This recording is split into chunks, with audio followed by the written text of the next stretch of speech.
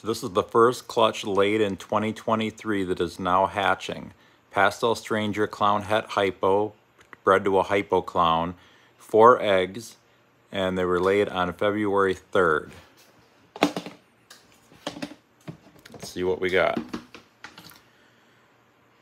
Okay, so this is a Hypo Clown.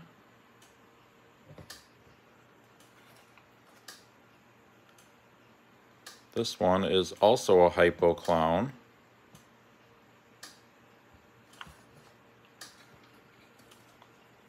This one looks like a pastel stranger clown that would be het hypo. And this one is a hypo pastel stranger clown. Not bad.